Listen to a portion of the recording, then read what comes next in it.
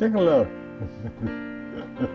Asked me if, he, if I would uh, cooperate in a, in a portrait, and I said I'd be glad to. And then he explained that he was going to do a series of these portraits uh, in preparation for a show uh, uh, exhibiting uh, faces of the North Fork.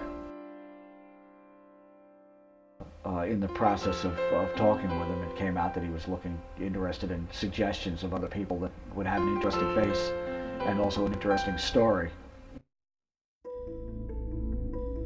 Pearl Harbor, our west coast became a potential combat zone.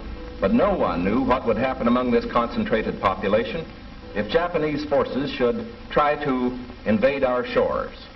Military authorities therefore determined that all of them, citizens and aliens alike, would have to move.